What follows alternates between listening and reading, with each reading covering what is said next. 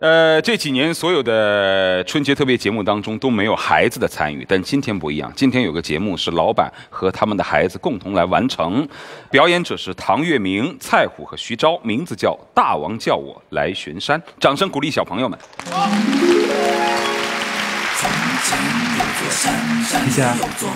甜心儿，甜心儿，甜心儿，醒了？叫我大王啥呀？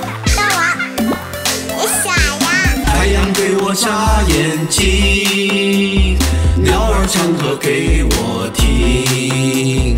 我是一个努力干活还不粘人的小妖精。别问我从哪里来，也别问我到哪里去。我要摘下最美的花儿，献给我的小公举。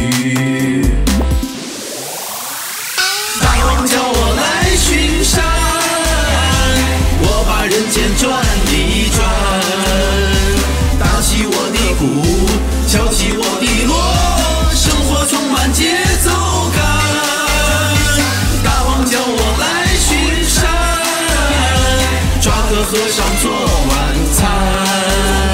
这山间的水无比的甜，不羡鸳鸯不羡仙。大王，大王，山里为什么没有老和尚呢？你傻呀？周公，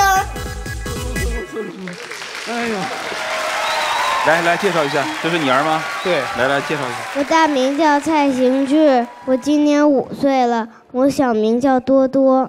哦，你小名叫多多啊？中间这位小公主是谁呀？来介绍一下小朋友。你要打的你是拐来的吧？陶玉明，你说是被拐来的吧？你妈妈在哪里？这个人是你什么关系？她跟你什么关系？好不好？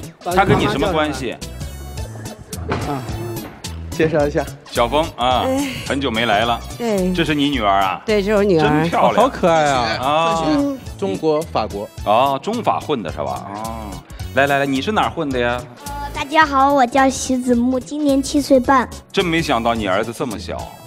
你平时在舞台上那么严格，你教儿子也这么严格吗？你问他自己好了。你说，你说爸爸严格不严格？有的时候严格，有的时候很放松。瞧你那个幸福样儿。谢谢三位，谢谢。嗯。给大家鞠个躬。好，非你莫属作为一档节目，改变了很多老板的事业线路。很多人一开始来的时候只是个老板，上镜头上多了之后，他依赖了镜头，他离不开镜头，他以为自己真是个明星了，哎，居然还让很多人发挥出了自己的演艺才能。他们。